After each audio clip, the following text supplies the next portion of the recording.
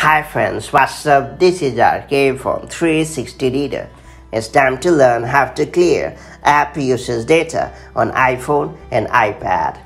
Apple keeps a track of your app usage data to provide fully personalized suggestions. Hence, you don't have to spend much time to find out the sort of apps and games that appeal to your taste. However, some privacy-minded folks might want to clear the app usage data from time to time. If that's what you are looking for, let me show you how it's done the right way. Before getting started, make sure you have subscribed our YouTube channel and hit the bell icon so that you won't miss any update from 360 Reader. First and foremost, open the App Store app on your iPhone or iPad.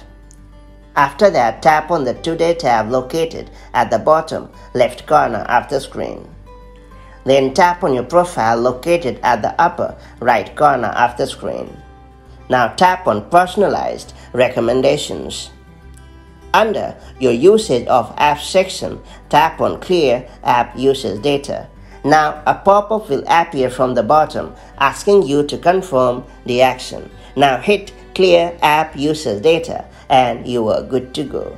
That's all there is to it. So that's how you can get rid of App Store usage data on your iOS or iPadOS device. If I found this video helpful, do like and share it and I'll see you in the next video with more such handy tips and tricks. Till then, stay safe and have a great time. Bye bye.